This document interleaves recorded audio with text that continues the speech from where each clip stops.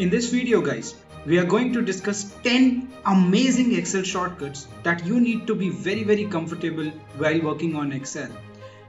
The first is, how do you navigate between the worksheets? Well, I hope you know what a worksheet is, right? And in Excel we can have multiple worksheets. So how do you navigate between those worksheets?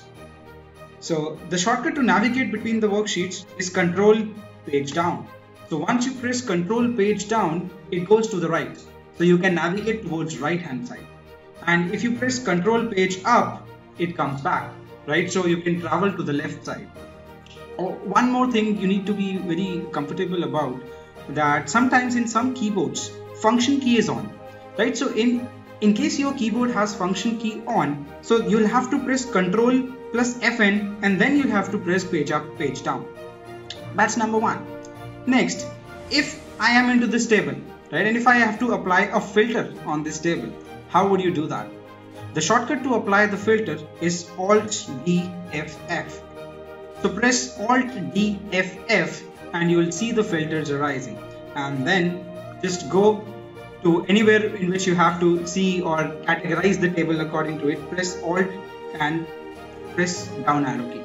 So it will open up this small arrow key for you right? And you can go select anything you can sort by color sort a z to a sort in descending or sort in ascending orders whatever.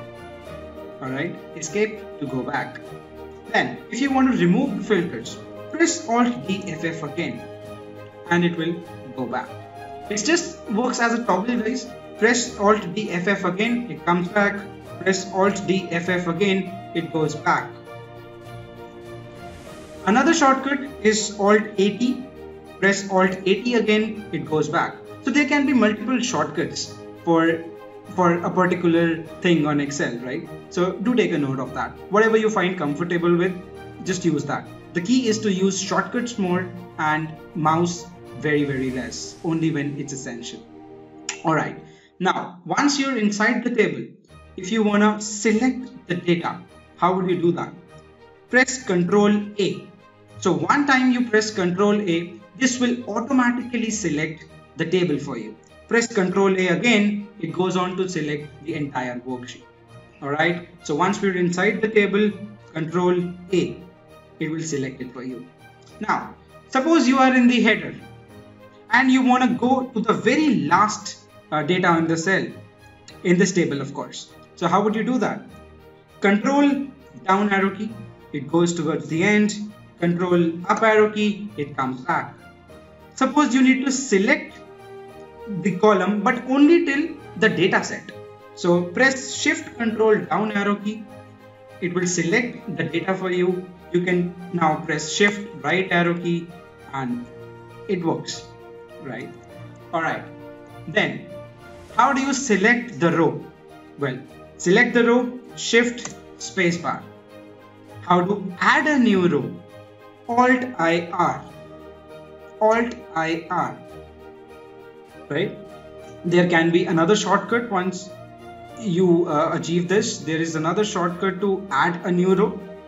Select the row, shift control and plus key. Shift control and plus key will keep adding the rows for you. Alright. How to add a new column? Alt IC. It will add a new column towards the left side of your cell right? Go back press ctrl z.